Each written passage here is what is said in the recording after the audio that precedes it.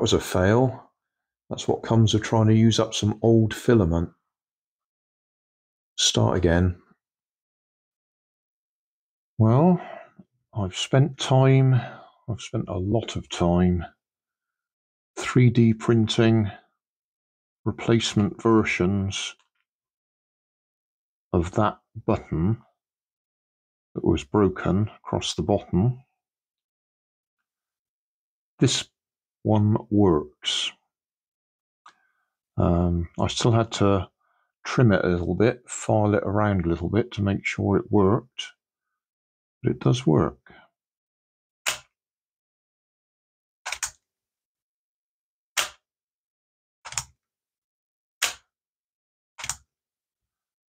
Uh, yeah.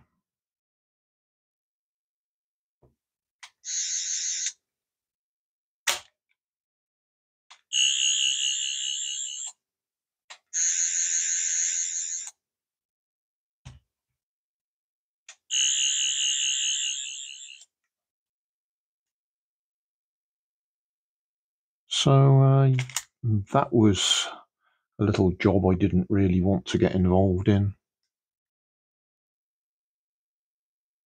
Quite educational, I suppose.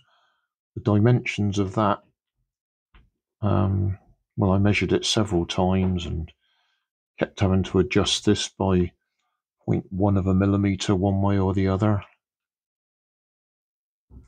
But we got there, so I say, got there in the end.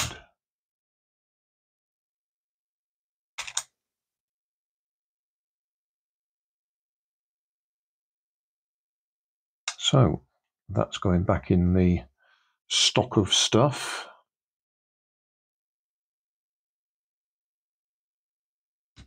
And yeah, that's it for the night. It's uh, just coming up to one o'clock in the morning. Hey, thanks for watching. There's plenty of videos on my main channel with more added daily, so don't forget to subscribe and enable the notifications to keep you up to date with my new releases. You can help keep my channel running by donating a dollar on Patreon to buy me coffee. You can always find more information in the video description. Thanks again for watching.